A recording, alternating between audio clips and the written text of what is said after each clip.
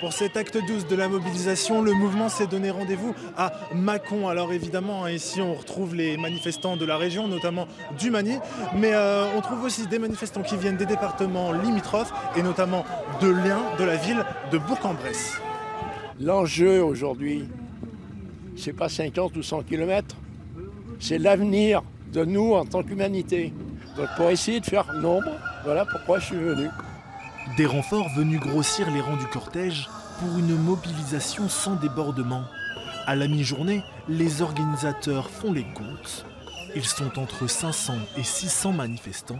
C'est beaucoup moins qu'espéré. Avec le temps qu'il fait, euh, les gens, on a un petit peu de mal à les motiver quand même.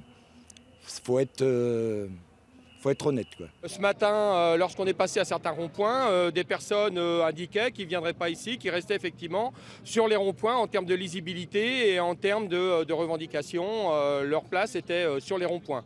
Les revendications sont pourtant toujours bien présentes et dans quelques jours, elles pourront être portées directement au président de la République en visite dans le département.